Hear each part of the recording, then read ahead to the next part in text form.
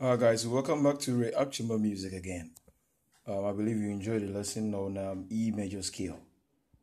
This video, I'm going to talk about um, F major scale, or F sharp rather. You enjoyed the lesson on F major scale, so I'm going to talk of um, F sharp major scale and then the triad. So I'm going to spell the notes out for you. F sharp major scale. You have F sharp G sharp, A sharp, B, C sharp, D sharp, E sharp or F, F sharp. I'm going to spell them again. F sharp, G sharp, A sharp, B, C sharp, D sharp, E sharp or F, F sharp. So you are going to build the triads on the um, F sharp major scale. So chord one, chord one is F sharp, A sharp, and then C sharp. Chord one.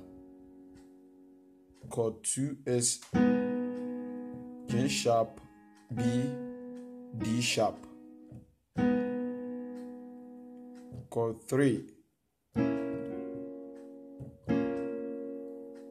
is A sharp, C sharp, E sharp, or F. Chord 4 B, D sharp, F sharp.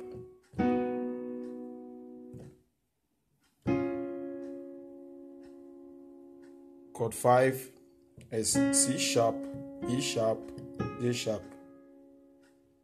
Chord 6 is D sharp, F sharp, A sharp.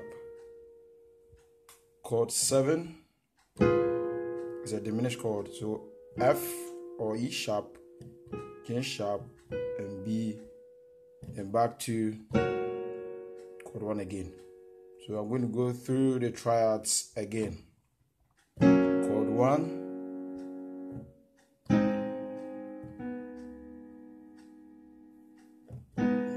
Chord 2. Chord 3. Chord 4. Chord 5. Chord 6. Chord 7 chord 8 or 1 again. To go through once more. 1, chord 2, chord 3, chord 4, chord 5, chord 6, chord 7, and 1 again. I believe you're going to enjoy the skill, the F sharp major scale, and the triads if you want to find the inversions of them you need to get to my video my, one of my video lessons talking about um, triads and inversions of triads. That will help you build your first and then second inversions. If you are yet to subscribe please do so. God bless you